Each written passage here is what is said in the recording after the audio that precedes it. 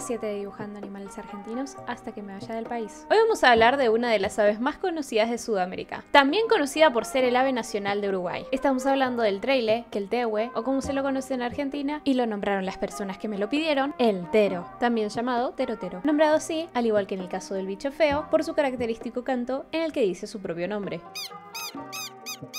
Pero si el tero es bien conocido por algo, es por su territorialidad, corriendo y gritando a quien se le acerque. Esta es la razón de por qué. Estas aves, muchas veces en las zonas rurales, funcionan como alarmas informando si hay alguna persona o animal desconocido en la zona. Pero esa territorialidad suya no es sin motivo, es para proteger sus crías. Los teros formarán pareja hasta que la muerte los separe, y pondrán de 3 a 4 huevos que defenderán a toda costa haciendo esta curiosa pose que estoy dibujando, demostrando las garras de sus alas. Porque así es, los teros tienen en sus alas espolones, osas que se encuentran en las patas y las alas de las aves, utilizándolas para defender a sus crías. ¿Y qué otro dato curioso conoces del tero?